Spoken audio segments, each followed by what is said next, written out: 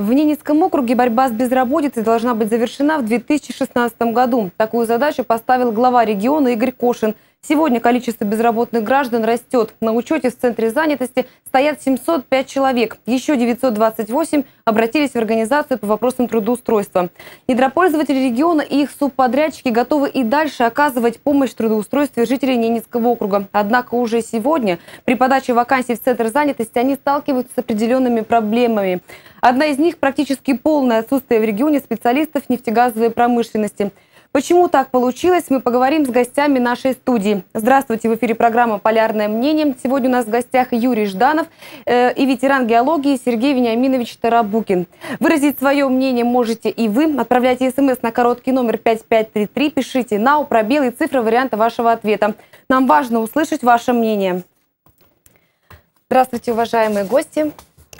Ну, такой вопрос. Что делать с тем, что вакансии есть, а работать некому. Юрий Павлович, я знаю, что у вас изначально э, формулировка э, приветствия моего не устроила. Вот борьба, да? Да, я не, со, не совсем согласен со словом борьба, потому что борьба предполагает борьбу с каким-то очень злокачественным явлением, с э, какой-то негативным тенденцией, там, алкоголизм, наркомания. В данном случае, мне кажется, речь нужно вести о решении проблемы. Еще и потому, я говорю о решении, потому что здесь должны быть не противоборствующие силы, а здесь должны быть союзники. Здесь должны, союзники и в лице работодателей, и в лице администрации округа, которая, для которой эта проблема серьезна, и в лице э, самих э, наших жителей, которые хотят работать, которые хотят участвовать э, в нефтедобыче и, в общем-то, заниматься делом. Ну и как вы видите эту ситуацию? Ну, на сегодняшний день, э, вот насколько я знаю, что открыты вакансии у нефтяных компаний. А, да, действительно, а, подготовленных специалистов сейчас в округе недостаточно. Если вспомнить прошлые годы, я надеюсь, э, э, присутствующий Сергей Вениаминович подтвердит это, прошлые годы Лукойл, когда зашел на территорию, работал на территории, у них был учебный комбинат учебный комбинат, который готовил для, э, непосредственно для Лукойла специалистов. Если взять еще э, историю глубже, то в свое время Ивано-Франковский э, политехнический институт, по-моему, политехнический институт, и Гомельский техникум готовил специалистов для геологоразведки. Вот так решалась проблема в исторической такой перспективе. Ушел Лукойл с территории. Сначала ушел Советский Союз, и специалисты остались. Э, Лукойл их взял. Э, теперь э, ушел Лукойл, учкомбинат, учебный комбинат практически, точнее, просто прекратил свое существование. И, соответственно, образовался кадровый вакуум в кадровом вопросе. Вот пока так. Но нужно готовить. Моя нужно готовить. Сергей Евгеньевич, а вы считаете, как? Какое ваше мнение по этому поводу? Есть ли вообще проблема в округе? Ну, я в центре занятости не был, вы сказали, вы озвучили цифру. Но вакансии, насчет вакансий...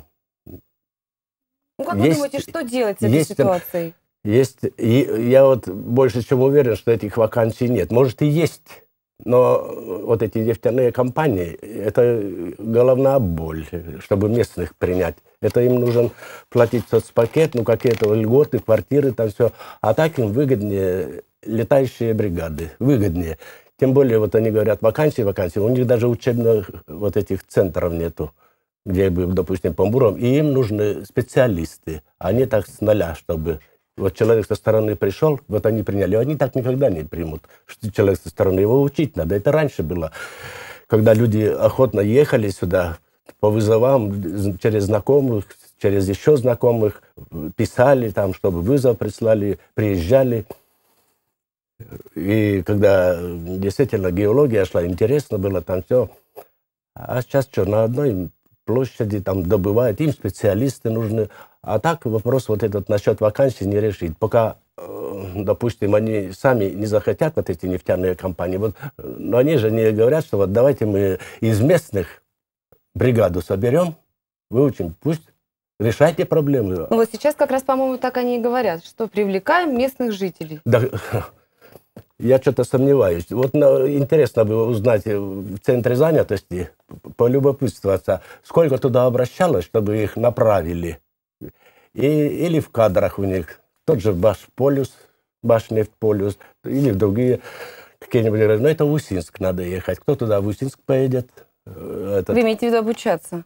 Не в обучаться, а просто узнать, примут или нет. А. Контор-то здесь, здесь нет, вот Баш Плюс, только Башнефть Плюс. А остальные, которые на испытании, которые буровые, это же все в Усинске. А кто туда полетит специально, чтобы узнать, возьмут его на работу Нет, ну сейчас можно обратиться в Центр занятости, правильно, Юрий да. Павлович, с этим вопросом? Да. Но я э, считаю, что э, ведь учебный комбинат Лукойла, он готовил ведь тоже специалистов с нуля. И там готовились и э, жители округа. А когда не это только. было? Напомните, пожалуйста. Ну, последние э, данные об этом учебном комбинате, я полагаю, это был, э, может, вы подскажете, 2000, э, нет, уже нет, еще в 2000 уже 2005 было, году, в 2005 году он готовил. Ну, я он готовил, он готовил еще. С 2002 не да, связан. может быть, на спад шла немножечко вся эта учеба, но тем не менее еще в 2005 да, году были, выпускались, да. выпускались помбуры, выпускались специалисты. Угу. Ну, я могу точно сказать, что Олег Ануфриевич сейчас замгубернатора, он курировал тогда в, в, в, этом, в Лукойле эту тему, он курировал. И в 2005 я знаю, были выпускники Помбуров, и они тоже были с нуля, и были наши э, из округа э, люди, и приезжали из других регионов, не только наши окружные. Это тогда было так. Тогда готовились, да. А почему так? И я считаю, что и сейчас надо было. Но Лукойл не заинтересован, он ушел, и поэтому учебный комбинат тоже прекратил свое существование. Нет. Вы не согласны? Что нет? Нет, я согласен, что они не заинтересованы, чтобы учебный комбинат э, вновь заработал там или создавать, чтобы обучать. А они возят специалистов своих. А, то есть они приглашают своих. Вахтовым методом. Выгодно. Привезли, увезли. Надбавки не надо платить, больничные не надо платить. Зачем? Специалистов они там найдут. А здесь из тех старых специалистов уже мало осталось. Кто в испытании, ну, там кто э, остались, там летают в Усинск, там уже их разбрасывают. А так, чтобы новых, ну, тут немножко лукавят, конечно, эти компании, что вот вакансий у нас там много. Никто их с распростертыми объятиями не примет. Вот со стороны, как э, этот, в советские времена было, переезжали на буровую, помбуром поработал, ну и, естественно, через учкомбинат. На курсы помбуров. Если бурильщики, то уже в Ухту на 6 месяцев. Учили людей. Но дело в том, что люди шли, хотели работать. А сейчас я сомневаюсь, чтобы кто-то шел, хотел работать. А почему вы так думаете? Ну, если бы кто-то хотел работать, ну, кто-то, может, и хочет, но я говорю, как до Усинска добраться, вот как здесь пробить, чтобы, да и не примут. Не специалиста, ну, не специалиста со стороны, вот, допустим, там на, э, сейчас такая э, оборудование, такая техника, такая автоматизация – надо специалиста. Я напомню нашим телезрителям, что это программа «Полярное мнение». Вы можете также выразить свое мнение. Отправляйте смс на короткий номер 5533. Пишите свой э, вариант ответа.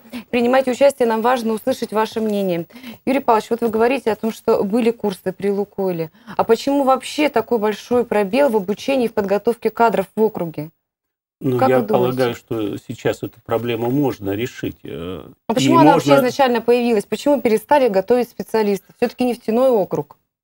Ну, ответить... Возить стали летающие бригады. Нет, ну, компании. видимо, э, я думаю, что, видимо, все-таки вопрос в том, что не было тесного взаимодействия между природопользованием, э, нефтедобывающими компаниями и руководством округа. Не было вот этой тесной связи. Каждый работал сам по себе. Сейчас э, ситуация изменилась. Сейчас я вижу, что э, руководство округа заинтересовано э, в решении вот этой проблемы, о которой мы сейчас говорим, о безработице. Э, нефтяники стали более, может быть, открыты в этом же вопросе. Они э, заявили, вот об этих вакансиях они заявили. Хоть, э, хотя Сергей Вениаминович сомневается, но это факт, потому что э, более 80 вакансий открыты. И это э, результат вот совместной работы. Почему я говорю ну, давайте о совместной посмотрим. работе? У нас есть э, как раз интервью э, с Владимиром Нестеренко. Это генеральный директор Башнефтьполюс. Как раз о том, он скажет, о чем мы сейчас разговариваем. Попрошу, пожалуйста, режиссера. этого мы с руководством профтехучилища наметили планы на этот год приобрести еще сварочное оборудование. Таким образом, это позволит еще получать выпускникам этого профтехучилища еще одну специальность сварщика. Но так как мы сегодня развиваемся семимильными шагами, поэтому нам необходимы эти специальности, и мы надеемся, что выпускники этого профтехучилища пополнят ряды компании «Башнефть-Полюс». Вот видите, Мгм. после профтехучилища со стороны они не примут. Ну, как со стороны? Ну, Вы имеете в виду ну, некомпетентного абсолютно Не, человека? специ- не специалиста. Не специалиста. Это, Ну, по-моему, конечно. оправдано, что Нет, тут это же серьезно все, все-таки. Все логично. Он, Только- он, э, Владимир Ну, Михайлович подтвердил, что подготовьте, и мы будем брать на работу. И это ведь э, правильно. Ну, я понимаю, что профтехучилище... Вы говор- ну, упоминали Ивано-Франковск. Я, я знаю это время. Каждый, каждый год приезжали с Ивано-Франковского института сюда на практику. Вот. Но здесь же их... ну, на практике были, но их же здесь не оставалось. Ну, единицы оставались. Также и профтехучилище, думаешь, думаете, там они все пойдут бурение, там, испытания или куда? Но почему Поле. нет? Почему вы считаете, что Сто нет? процентов. Ну, сто Ну, процентов э, нет, конечно. если э, получат наши выпускники или э, рабочие, э, желающие получить квалификацию, они получат, почему они уйдут-то с буровой? Но кто уходил с буровой? Когда? Э, Кто уходил из Если- нефтяных компаний? Если, если их возьмут, кого-нибудь, допустим, а сколько-то, какое-то количество, возьмут, они поймут вкус этой работы. Сейчас платят им неплохо. Вот этот, если с коллективом уживутся там, и главное, чтобы им понравилось. А нет, они уйдут. Все-таки мы сейчас о другом Нет, говорим. э, Мы говорим да. о подготовке. Вот подготовка А. это, это зависит от э, это э, зависит от нас. Я имею в виду не только училище, я имею в виду в целом э, весь ресурс э, округа. Вот организовать подготовку специалистов это наша общая проблема. И поэтому э, мы поддерживаем тесный контакт э, с центром занятости. Центр занятости э, взаимодействует с нефтяниками. Те дают перечень тех профессий, по которым надо подготовить, и по этим профессиям мы и будем готовить специалистов. А, Вот, э, смотрите, значит, э, вчера буквально мы начали курсы по обучению операторов добычи нефти и газа. 10 человек из центра занятости, это безработные э, граждане, это те, которые живут у нас, это жители нашего округа, и у них будут двухмесячные курсы, да, получают разряд не самый высокий, третий, четвертый разряд, да, но опять э, защ- благодаря или впоследствии, если тесная связь между округом и э, нефтедобыч- э, нефтедобывающей компанией будет сохраняться, а нефтедобывающие на месте уже, конечно, там, где нужна практика, они дотянут их, поднимут их квалификацию до необходимого уровня. И таким образом решится две проблемы. А, это для нефтяники получат подготовленных кадров. Б, мы решим проблему э, уменьшения э, безработицы в нашем округе. Вот я считаю, что сейчас мы на правильном пути. Мы на правильном. Юрий Павлович, а на скажите, пожалуйста, я перебью вас. А если не ваше профтехучилище, кто еще сможет подготовить специалистов? А, Ну, есть э, еще э, одна частная организация, которая занимается, но насколько э, как бы э, Я просто знаю, успешно что, э, будет вот, э, ее генеральный- работа, мне сложно, директор, мне сложно э, оценить. компании еще одной недропользователей Восток Нау Владимир Сарычев, он, например, говорит, что ему такие специалисты, которых мы обучаем здесь, они ему не нужны. Ему нужны исключительно те специалисты, которые обучаются, например, в Архангельске. Вот что делать? У нас безработица, у нас есть, мы обучаем, а недропользователи говорят, что нам нужны более квалифицированные специалисты. Они противоречат сами себе. Они говорят, вакансии, у нас есть вакансии, полно вакансий, но не идут. И сами же тут говорят, нам не нужны, даже с профтехучилища, Но не это то, не что со все, я, стороны, я попрошу. а с Архангельска. Да. Вот как вы Ну, думаете? Ну, я не могу сейчас оценить, собственно, о каких, специали... о каких специалистах идет речь. САФУ, наверное. Вот, е- э, ну, САФУ, это... Да-да-да, это- САФУ в Архангельске, Да, но да. это уже высшее образование. Ну, вот извините. это это уже уже инженерно-технический персонал. Это немножечко другой разговор. Мы-то говорим сейчас о э, рабочих профессиях. Но они же конкретно говорят, вот нам э, Ну, с ПТУ не надо, а, А вот с вот Владимир. Михайлович об этом не говорил и не говорит. Он Мы с говорит ним о- о встречались. рабочих профессиях? Он говорит о рабочих профессиях, он говорит о сварщиках, он говорит о э, м, операторах. Э, То есть мы разговаривали, когда встречались с ним, и э, заместитель губернатора был э, на этой встрече Галина Брониславовна Медведева. Речь шла о рабочих профессиях. И именно для этого, допустим, э, в планах нашего взаимодействия стоит не подготовка не только сварщиков, но и привести на, бура- на буровую наших ребят. Вот эта задача стоит, посмотреть. Кроме того, практика. Мы говорим сейчас о том, чтобы... Я говорю только о рабочих профессиях. Чтобы подготовить вот э, те, которые 10 человек пришли на операторов э, добычи нефти, добычи нефти и газа, а, они практику будут проходить не у нас. Конечно, у нас базы такой э, полноценной нет. Они поедут, э, но это уже вопрос, который взял на себя э, Центр занятости и нефтяники. Они поедут туда, там будут отрабатывать уже на, на месте, на буровых, будут отрабатывать все вопросы, которые теоретические, э, те теоретические знания, которые получат. Ну, вот как бы так. Ну, ну, сейчас ваш нефтьполюс э, на слуху, на виду. Вот, Ну, почему? А Восток, да, тоже? этот, они могут, могут принять сколько-то. Какое-то количество, какое-то демонстративно, да? количество. Но есть же у нас тут еще нефтяные компании. Надо бы и их послушать, а они готовы или нет. Я, например, знаю, что сейчас вот буровые поставят, у меня знакомые, нету работы, и не сокращают, и говорят, пока нету, позвоним, если когда надо будет, бригады целые. Вот. И как решать? Это жители нашего округа? Да. Да? Ну, не- ну да, которые не летают, которые отсюда летают. Мгм. Сергей Евгеньевич, а как вы думаете, насколько будет интересно молодым специалистам идти вот сейчас э, обучаться и потом в дальнейшем работать? Но я за каждого не могу сказать. Ну, просто как вы думаете? Для меня, например, интересно было, да и этот, э, которые приезжали в те времена, тоже интересно было, но тогда время другое было, тогда вольница была, вольница. Потому что многое прощалось, там разрешалось, в тундру пускали на охоту, на рыбалку, а сейчас же тюрьма. Сейчас же Ну, тюрьма. тюрьма. Ну, а что, Просто это то же самое. дисциплина, Не в тундру это не правильно. Я, пример, Производственная дисциплина, При- так и должно быть. да, производственная дисциплина, но эта дисциплина, э, этот, э, Вы же приехали не на рыбалку, а из-за этой дисциплины э, вот и нехватка кадров. Вот я сейчас пример приведу. У меня несколько партий бывшей, где-то процентов 50, если не больше, было чисто местных кадров.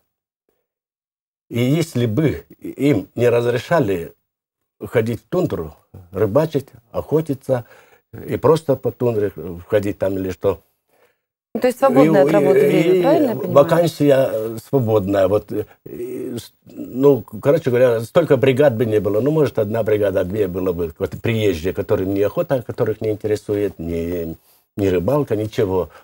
Отработали, поели, полежали дальше. А вот расскажите, как, э, когда вы обучались и как это про- происходило все у вас обучение? Ну, я Ухтинский горно-нефтяной техникум закончил в 66 В году. Ухте. В Ухте. В Ухте. Вот. Ну и э, Были ли тогда поработал. проблемы? Вот когда вы приехали сюда на работу устраиваться?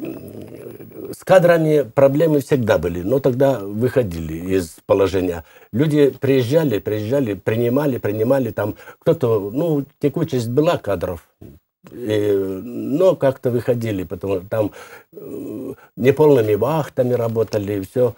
Но, во всяком случае, они говорили, что вакансий, там людей не хватает. Не хватало людей. Но надо, оставались на вторую, этот, еще на заездку. Там по 16 часов работали, когда по 8, еще за кого-то работали. Но, ну, тогда провинился. Уже ты знаешь, что э, сказал тебе мастер, надо остаться. Кто-то не прилетел, надо остаться. Ты остаешься. То есть на взаимовыручке, Вот, да, все как взаимовыручка. И, э, и буровая не простаивала. Ну, я не слышал, чтобы буровая простаивала из-за людей. Потому что жестко, в, то же время вольница вольницей, но жестко был поставлен. Тогда такой механизации, автоматизации не было. Если был один трактор на буровой, да и тот, тем более какой грунт еще, может там болотина, а он вообще другой раз стоял, даже с вертолетки не мог ничего подвести, к буровой ничего. Вот, и все на руках. И бывает, что ну, вахта там или что, отказывается там тащить что-то тя- тяжелое, То есть дело не в людях, да, вы Вот, хотите и этот, а с конторы звонят, фамилии, вот и все. Идешь и тащишь.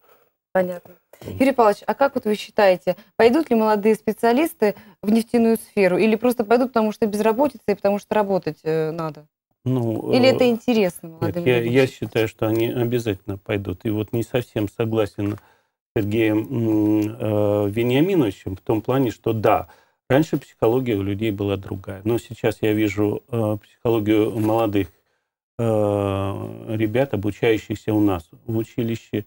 Э, у нас есть э, сейчас группа, которая на втором курсе, это группа по ремонту нефтяных скважин. Это молодые ребята нацеленность там на охоту, э, совместить работу с рыбалкой и охотой в тундре, э, я не могу сказать об этом. Э, что у них такой настрой, что они так видят свою будущую работу. Нет, как раз наоборот. Они нацелены на действительно труд, на серьезный труд, и, который принесет им и моральное удовлетворение, и финансовое удовлетворение. Они будут работать, они хотят работать. А то, что было раньше, да, раньше приезжали э, крепкие, здоровые мужики на буровую, а чего бы еще не порыбачить, а почему бы тут еще не пострелять с ружья? Конечно, да, э, так было, но все меняется, меняется время. И даже те, которые сейчас пришли э, у нас на курсы обучаться, 10 человек из, по центру, из центра занятости, по направлению из центра занятости. Вчера было первое организационное собрание, я на нем присутствовал, и вопросы задавались не о том, как мы там будем в тундре, а о том, как у нас будет построено обучение, какие э, темы мы будем изучать, каким образом мы будем отрабатывать потом на практике. То есть это люди серьезные, это не, не случайные, скажем, люди, они нацелены на работу. Я считаю, что это самое главное. И таким образом мы сможем потихонечку, пошагово выйти э, на решение проблемы. Сразу же наводящий Мы- вопрос, прошу прощения, вы говорите 10 человек сейчас обучаются. Да. А как вы планируете? Вообще много будет э, желающих Но обучаться планируют, на эти вакансии? планируют, опять я повторюсь немножко, планируют центр занятости. Ну, у вот них, вы, у них всё-таки вы их разбиты, да, у нас э, да, заявка есть на подготовку э, операторов технологических установок, на операторов по обессоливанию, обезвоживанию скважин. Пять профессий. Э, Сейчас мы пока отрабатываем вот с этой группой. В последующем будем... э, Там э, сложно сейчас ответить э, на вопрос, будет ли через аукцион проводиться подготовка очередной группы специалистов, или же это будет в другой форме, там, котировки, договор. Я сейчас не готов ответить, потому что это зависит больше от центра занятости. Какую форму эм, как бы, организации этой подготовки специалистов они выбе- выберут, той форме и мы будем работать, той парадигме, назовем это так. Либо мы пойдем через аукцион, либо по котировкам, либо по, договорам, по договорам. Я сейчас не готов ответить. Но Сергей до конца года, извините, я хочу закончить, что до конца года вот э, стоит задача подготовить еще пять профессий, необходимых для э, И сколько это получится в общей сложности Э, человек? По, по моим данным, 5, по, по операторам э, добычи 10 человек, остальные специальности по, по 5 человек. Ну, значит, считайте, э, 30 человек И, то есть, получается. и уже есть э, гарантия, что эти люди, которые от вас э, выйдут, они пойдут на месторождение работать. То есть они уже Это- обеспечены работой. Э, такую гарантию даст только Центр занятости и взаимодействие их с нефтяниками. Потому что наша задача подготовить, обучить. Дальше э, все вопросы распределения, на- А какой какой документ вы выдаете? свидетельство, свидетельство, где будет указан э, разряд, квалификация. С этим свидетельством это, ну, могут, не э, могут э, нефтяники принимать, но я соглашусь с тем, что там на месте их нужно еще э, доводить до более высоких разрядов. Пятый, шестой разряд должен быть, чтобы уже самостоятельно они работали, чтобы действительно... Но это, от уже, я думаю, зависит, как и, захочет. и от человека, и от того, в какой компании он будет работать, как там организовано дальнейшее, э, дальнейший профессиональный рост этого. Сергей Евгеньевич, расскажите, пожалуйста, а зачем вы пошли на эту работу? Что вот вас подвигнуло э, пойти в нефтяную отрасль? Вы пошли за длинным рублем или, может быть, за романтикой, как раньше это было распространено? Я закончил 7 классов. Тогда семилетка была. У матери нас было трое. Мне надо было куда-то идти. А куда? Вот взяли газету, объявление. Ухтинский горно-нефтяной техникум. Стипендия 28,50. Железнодорожный 14,50. Лесной 16,50 или 18,50. Ну куда? Горный. Вот. Так и попали, да? Так и попали. Никакого представления. И которые там группа была, больше 30 человек. Нефтяни, нефтяники, буровики. У нас нефтяников 36 было человек, у буровиков 32. Потом нас там отсеялось много. И нас 6 человек в бурении. Так я стал буровиком.